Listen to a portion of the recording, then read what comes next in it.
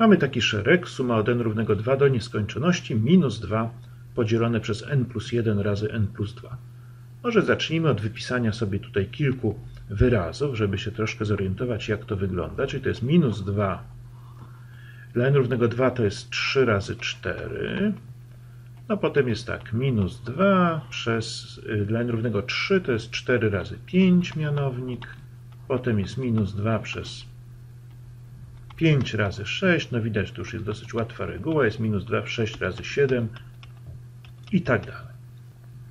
I naszym celem jest y, zbadanie zbieżności, a nawet okaże się możliwe policzenie tej sumy. I teraz y, chciałbym taką wskazówkę dać, żeby mm, zacząć od tego, żeby ten ułamek rozłożyć na ułamki proste. Prawda? To jest ułamek, który w mianowniku ma iloczyn dwóch członów liniowych, więc wiemy, że można go przedstawić jako sumę, czy też różnicę takich dwóch ułamków, y, gdzie w mianowniku są tylko te człony liniowe. I teraz zachęcam do, do przerwania oglądania tego filmu, właśnie rozłożenia tego ułamka na ułamki proste i zobaczenia, czy przypadkiem nie umożliwi to policzenia sumy tego szeregu. No dobrze, no to zacznijmy od tego rozkładu na ułamki proste. Minus 2 przez n plus 1 razy n plus 2.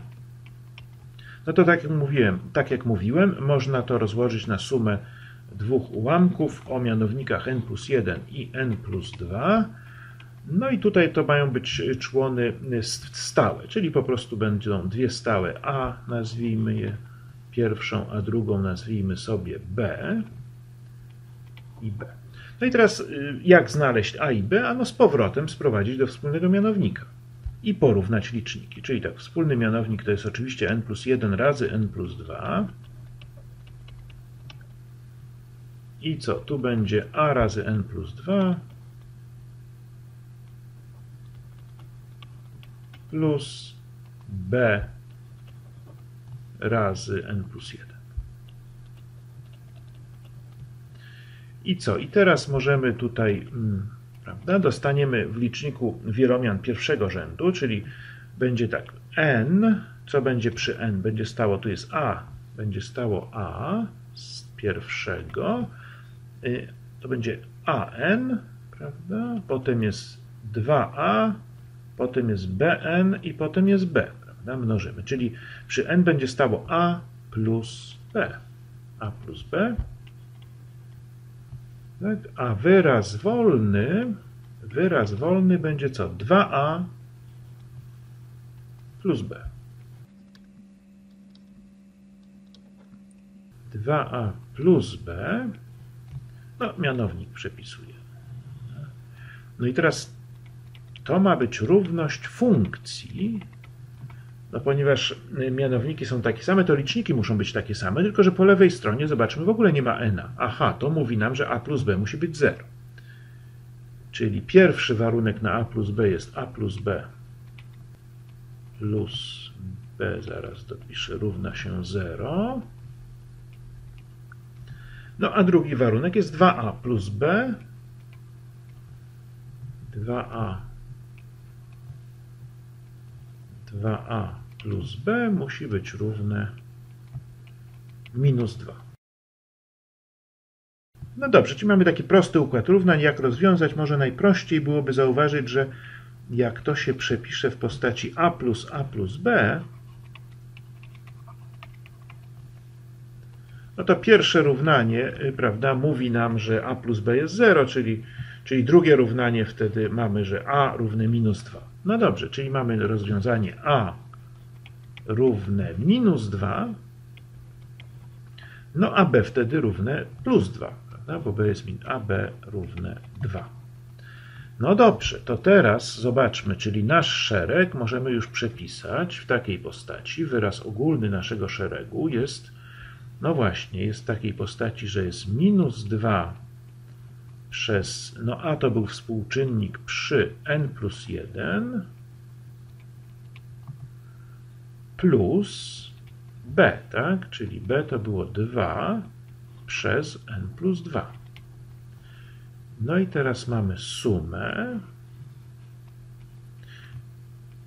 To jest wyraz ogólny, więc może policzmy, prawda? Suma szeregu to jest granica ciągu sum częściowych, więc napiszmy taką sumę częściową od n równego 2 do n dużego. No i zobaczmy, co to jest. Czyli tak, zaczynamy od minus 2 przez 3, potem jest 2 y, przez 4, czyli plus 2 przez 4. To jest wyraz dla n równego 2. Potem jest wyraz dla n równego 3, to jest minus 2 przez 4.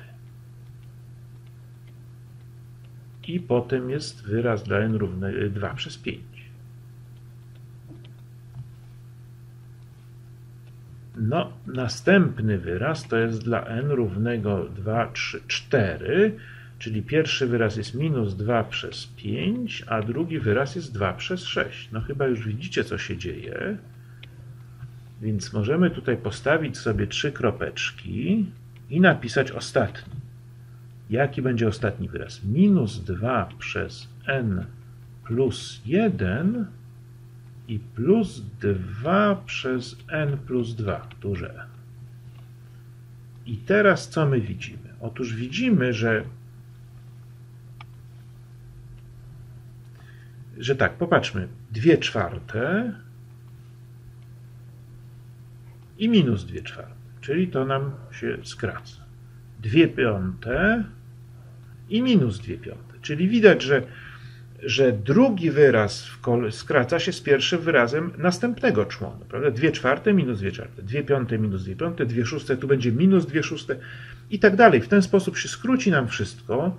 Ten wyraz skróci nam się tutaj z drugim wyrazem z poprzedniego, z poprzedniego członu, natomiast zostanie co? No, zostaną nam te wyrazy, które się nie mają z czym skrócić. No, pierwszy wyraz tutaj, i ostatni wyraz, czyli wyraz y, przy, o numerze n.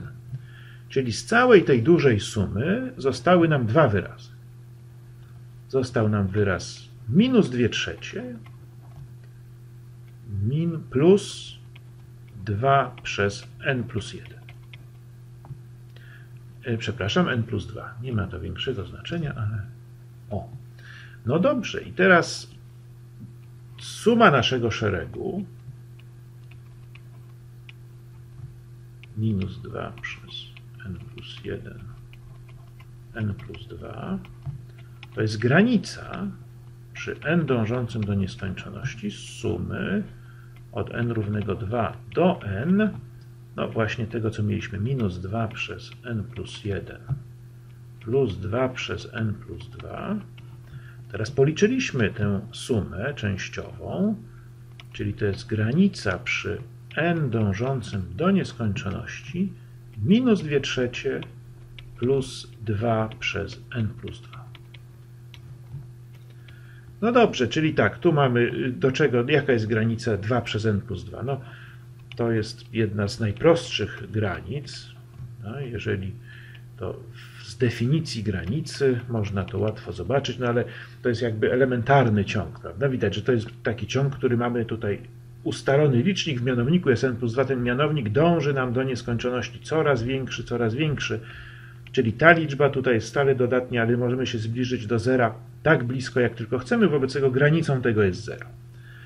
No to wobec tego to dąży do zera, czyli cała ta granica jest minus 2 trzecie.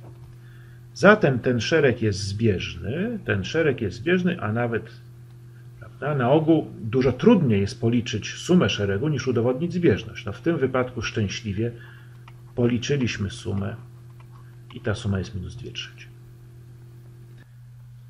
Na zakończenie warto może jeszcze wspomnieć, że jednym z takich najbardziej elementarnych sposobów wykazania zbieżności szeregu 1 przez n kwadrat, czyli suma 1 przez n kwadrat i napiszę od n równego 2. Za chwilę się okaże dlaczego. Oczywiście na zbieżność nie ma znaczenia odrzucenie pierwszych kilku wyrazów, w ogóle skończonej ilości wyrazów. Na wartość sumy oczywiście ma znaczenie, czy piszemy od n równego 1, czy od n równego 2, ale oba te szeregi są albo zbieżne, albo rozbieżne jednocześnie.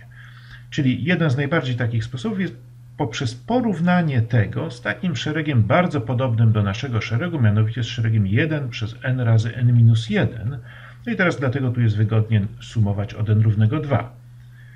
No i teraz ten szereg, można wręcz policzyć jego sumę dokładnie w taki sam sposób, w jaki policzyliśmy sumę naszego szeregu, a z drugiej strony jasne jest, że ponieważ n kwadrat jest większy od n razy n minus 1, to dla odwrotności mamy relację odwrotną, no i ponieważ ten szereg, y, ten szereg jest zbieżny, to również szereg 1 przez n kwadrat jest zbieżny.